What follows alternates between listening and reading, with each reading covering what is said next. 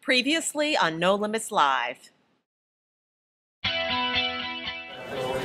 Well, we're about to board. I'll see you when we get to Denver.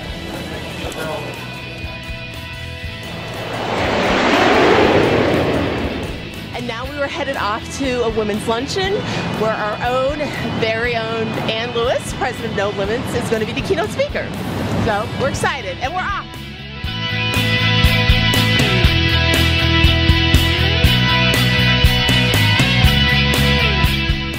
We are at the home of George and Nancy Casey, two extraordinarily, extraordinarily wonderful No Limit supporters. Uh, George is also the interim president and CEO of the Humane Association. So this is going to be spectacular. We thought there might be 20, 30 people coming.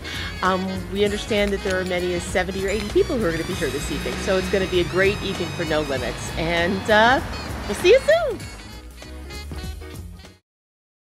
That with our ingenuity, creativity, and innovative spirit, there are no limits to what is possible in America.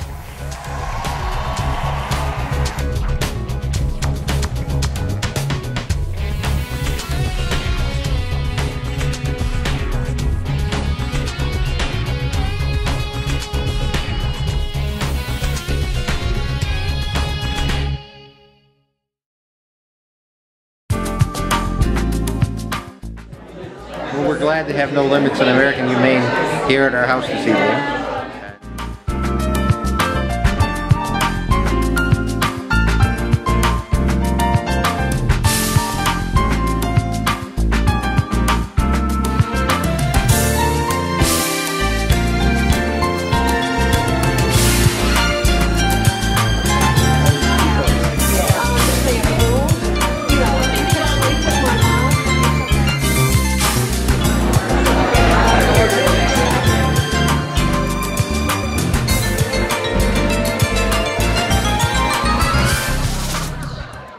Because every issue I have ever cared about in my lifetime, whether it's childhood violence, child labor, rape is a crime of war, access to health care, equal pay for equal work, lesbian and gay and transsexual issues, Ann has not only been in the movement, she's led it and she's helped craft the legislation at home that makes the world the America we want to be. So, you know, with great gratitude to George and Nancy and with immense respect and joy, I give you my friend Ann Lewis.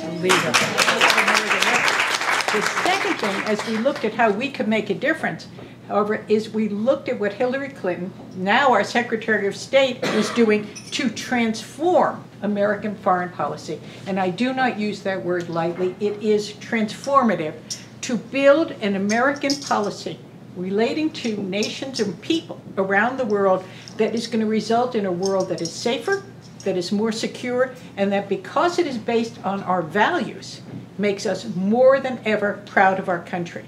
And we thought this is a powerful story if people knew about it. We need to get out there and tell that story and talk about those connections.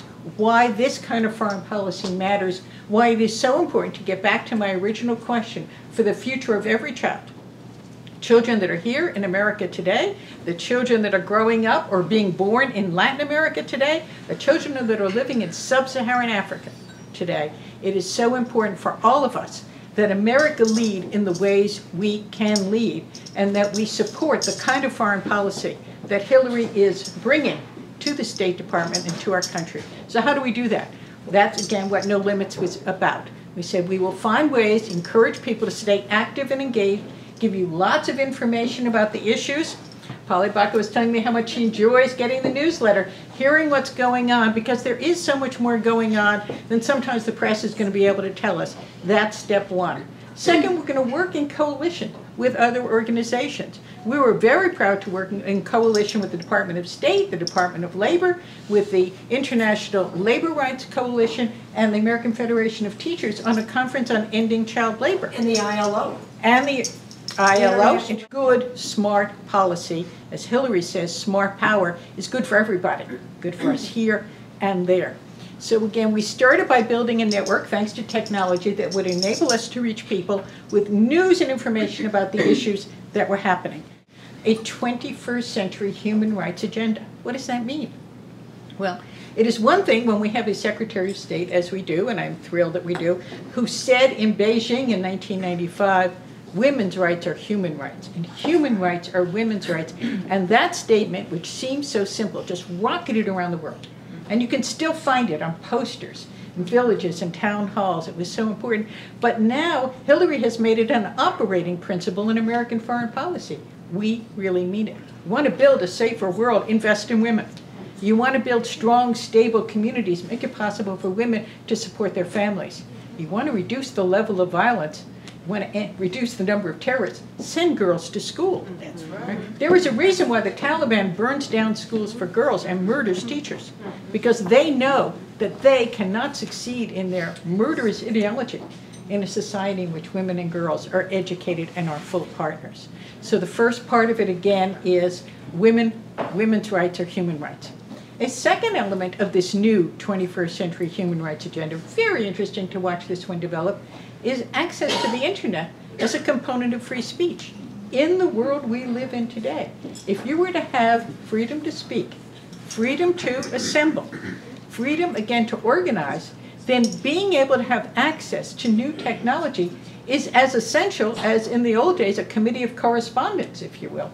There are reasons why authoritarian governments are trying to shut down technology in their countries and why young people use Twitter and use Facebook and use all the tools that I'm still learning about and they're still inventing.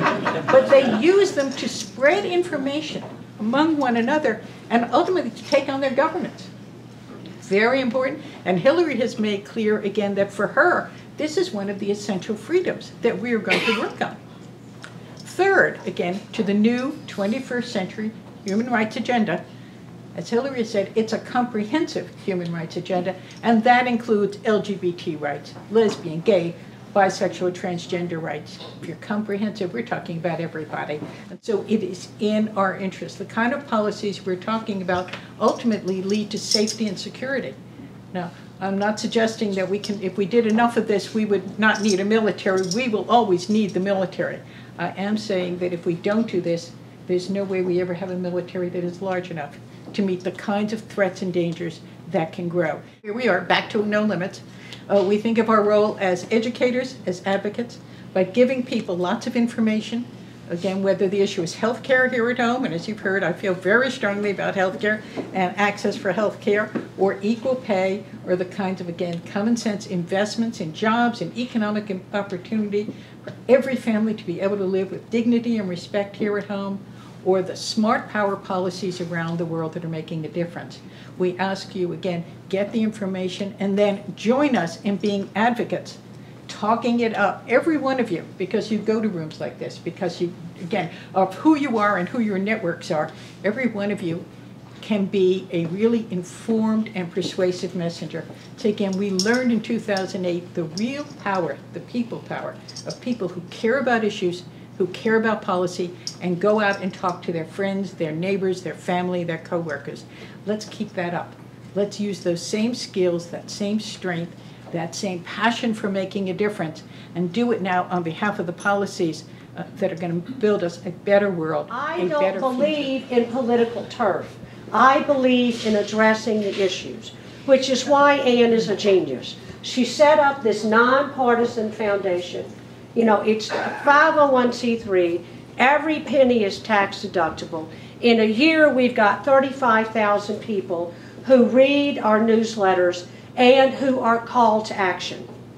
And what we are trying to do is to create a virtual community that can address these issues so when there is a, a, measure of critical importance, we can mobilize you. And we can't do that without support.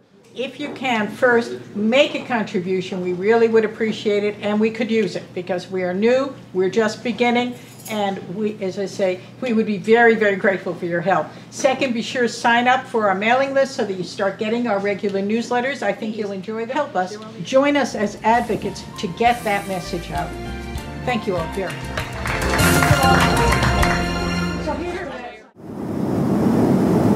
Everybody. Here we are on the plane going home. Denver was a smash. and was a hit. We built all these new networks, and I'll see you when we land in DC. Bye.